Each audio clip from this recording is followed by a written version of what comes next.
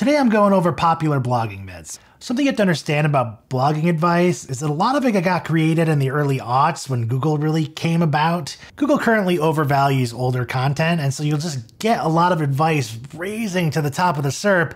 And that's where everybody is getting their advice to give to you. And so you end up reading stuff that may have been true in the early 2000s, uh, but maybe isn't so relevant for you right now.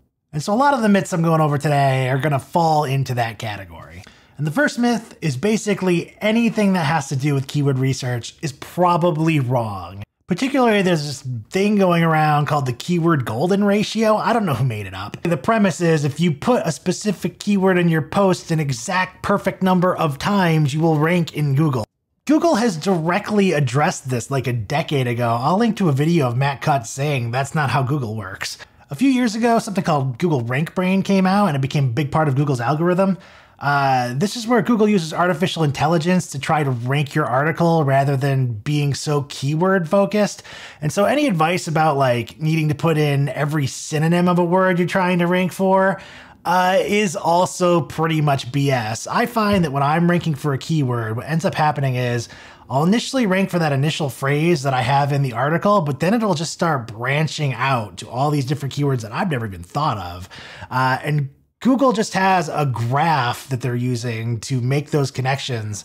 Uh, and then they use RankBrain to test it out, and it's pretty clever.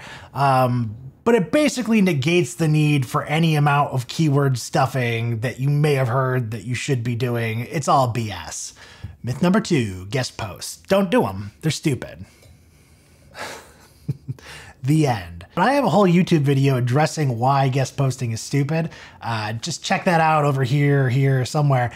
The gist of it is nobody goes to a site's homepage anymore, so if you guest post even on a big website, you don't get a huge influx of traffic from that. Uh, at most, all you're getting of value is a single backlink, and if the site you guest posted for doesn't have a ton of domain authority, how valuable is that really? Uh, it's also the idea that if you post 100 posts on your own website, I guarantee you, if they're all good, over time, you'll accumulate well more than 100 backlinks, which means each post on your website is worth more than one backlink. That's obviously over time, but hey, you know, if you just, if all you gotta do is wait a couple years, what's the harm of putting it on your own website, collecting all the traffic, and getting more backlinks? I'll stop. Watch my other video. Here is a myth number three is a reverse myth where it used to be complete BS, and I think it might start to become true in the future, although I can't prove it. And that's that your site needs to be crazy fast. According to Pingdom, if your site takes five seconds to load, 38% of your traffic has already bounced. Uh, so it's obviously in your best interest for your site to be faster than that. Uh, really, it's prior to the three second mark, you don't have a ton of bouncing. So you really want your site to be faster than that uh, as like just a pure, I don't want to throw all my traffic away type of thing. That said, when I take some of the most competitive queries on the internet and I plug the top results into the Google PageSpeed's Insight tool, I find that their sites load ridiculously slow a lot of the time. Uh, clearly, site speed isn't a huge ranking factor. Obviously, relevance and domain authority must be much bigger than that. Otherwise, there's no way these sites could rank that high in the SERP for that competitive a query. That said, this might become true in the future in the sense that Google's really been hyping up this whole Core Web Vitals thing, and they're saying in May 2021 they're gonna this time they're really gonna give site speed its fair shake. So I'm actually hoping they do that because my site's quite fast. It's one of the things that's within my control, and I'm a software developer, so it's like really easy for me to make a fast site. So it would definitely be in my benefit if they started weighing site speed higher. That would be great. Uh, we'll see if they actually go through and do it. I'm skeptical, but as of the last 10 years, hasn't really been a thing. They keep telling us they're going to do it. They haven't done it yet. Myth number four you should be spending 80% of your time promoting your content. This is terrible advice for new bloggers. If you're a new blogger, you don't have any money, you don't have any content, you don't have a social media following, you don't have anything. What on earth are you going to be spending all this time promoting? And where are you going to be spending this time promoting it? It doesn't make sense.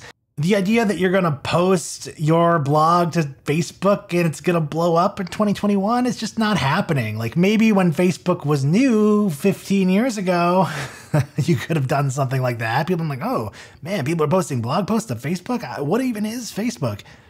In 2021, you could post the most sensational thing I've ever seen to social media, and I don't care. I'm numb to it. Um, so it doesn't really have the same flavor it used to your promotion is simply ranking high in Google. You don't need to do anything else for right now. If you only have 10 blog posts, writing another blog post is a 10% increase of your business. That's amazing.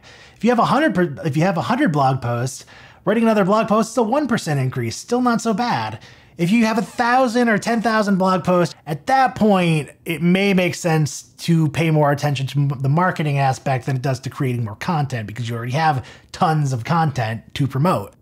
But you, as a new blogger, are nowhere near that tipping point. You are at the I should be spending all of my time writing content phase. Myth number five longer content always ranks higher.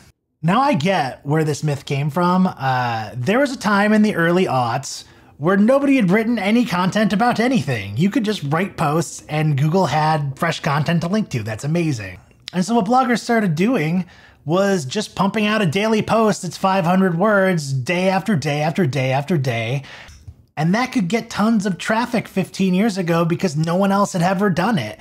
The advice that longer content always ranks better kind of originated in an age where there was starting to be content available for most things on the internet, but they're all 500 word articles that weren't really in depth. It was created by the people in the early aughts who just posted day after day, and they were the only person to have ever written this on the subject.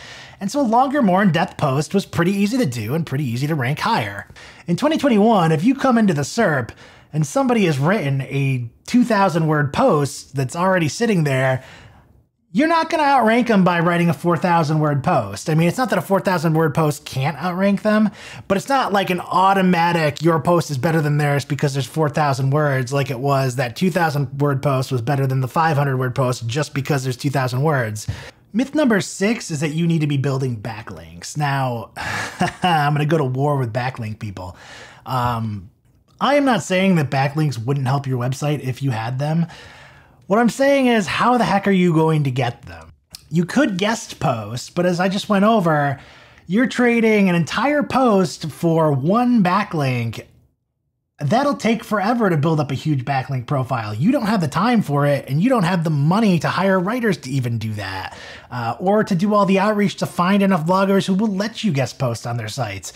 Then there's outreach, which is effectively just spamming legitimate bloggers, seeing if they'll link to you which there's a thing called opportunity cost that exists where it's basically okay yes a link would be valuable and if i spent hours and hours and hours spamming bloggers to get one that would be an okay thing but i could have spent those hours and hours and hours writing a post and that might have been a better thing to spend my time on.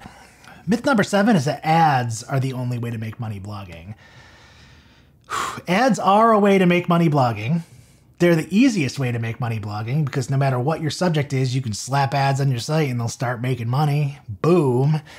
And they work with international traffic. That's great. Like if I was selling a product, it might be hard to ship my physical thing to some country I've never heard of. But that's where the benefits of ads end. Ads don't pay great. They pay 10 to $30 per 1,000 impressions. If you do the math on that, at a $10 RPM, you'll make $1,000 for every 100,000 visitors, which is real money. $1,000 isn't a joke, that's fun money, but 100,000 visitors is a lot of traffic.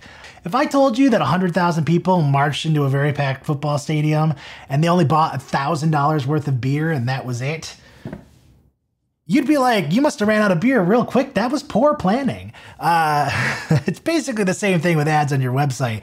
Uh, if you're selling anything to these people, uh, you are going to make way more than that. Uh, now, not that selling things is easy. You have to create a product. It's a whole thing. But your revenue per 1,000 visitors can skyrocket from ads. And the people who are completely reliant on this third party thing and don't ever think to get off of it are not thinking clearly when they're creating their blog. Myth number eight is that blogging is dead. There was a time in 2007 where I thought about starting a blog, but I thought it was really stupid. And I want to go back to past me and just like kick him in the nuts real hard. That guy's an idiot, 2007 me, and I hate him. Because, like I was saying at the time, you could write a 500 word post per day and you could do pretty well. Uh, I just didn't realize that because I was stupid. 14 years later in 2021, I totally get the idea that it's dead compared to 2007. Point taken. However, it's not dead dead. The barrier to entry hasn't gotten so high that a regular blogger with enough time and energy and who's good at it can't overcome it. Uh, there's still like a billion things you can rank for, and even if you're in a competitive niche, it's possible to outcompete some pretty big players. What you don't want is for it to be 2035 and for it to be too late, because I do think there could be a time where it's gotten so competitive where most regular guys just can't do it anymore. Or there might be a time where the medium just changes entirely and blogging dies out. Maybe Google decides they're done, they're out of the blogging game. I don't think that'll happen anytime soon, but it's, you know, it's not outside of the realm of possibilities. I'm getting into YouTube. Subscribe. Myth number nine is one of my favorites. It's that keyword research tools can accurately predict search volume for any keyword. Uh, that's that's BS. Uh, and I know it's BS because Google doesn't publish that information anywhere. I know because I've looked for it very hard. Because in theory, if you did have it, it would be fairly valuable. There are only three ways to get volume data for keywords. The first is winning the phrase on your own and seeing the actual numbers in the Google Search Console. And that would work, except you have to actually write the post to rank for the keyword before you can get that data, which no keyword research tool can do for every phrase on the internet. I have seen in recent years they've started trying to steal your Google Search Console data. Like they'll make you uh, give them your analytics data to use their tool, which you should never do, by the way, because now you're giving all these keyword research people your exact data. Uh, that's not a good plan, but hey, to each their own. The second way to get volume data is to use the Google Keyword Planner AdWords tool. This doesn't work because it only gives you the volume for broad match ad impressions. That is very different than total traffic for informational queries. The data is garbage. It it doesn't help you in any way. There's a lot of traffic for pretty much every keyword. You just need a thinking brain to figure that out. There's 3 trillion searches on Google a year. Anything that's reasonable is getting a lot of search volume. You do not need these tools to tell you that. I could tell you that. Any idiot could tell you that. If it's something you might type into Google, people are searching it en masse, thousands of them. Done. The third way to get traffic data is clickstream data, which is its own thing. It's kind of shady. Years ago, there was this company called JumpShot that Ahrefs was using for clickstream data.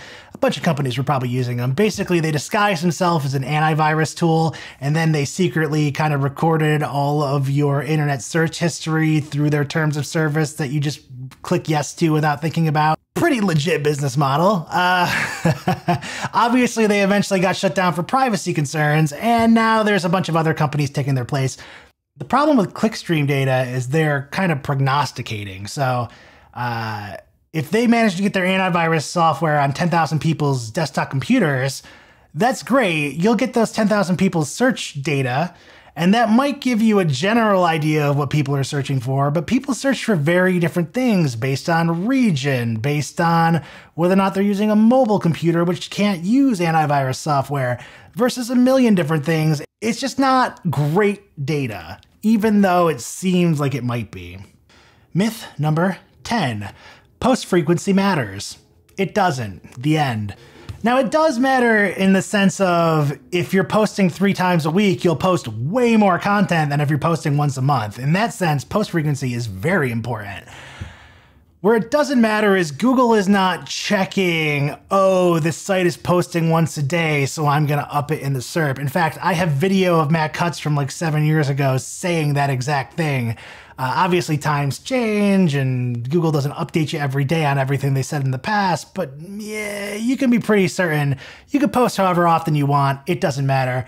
Uh, it's more about total content on your site than whether or not you have a strict posting schedule of every day or dumping 10 posts in a single day and then not posting for a month. It doesn't matter.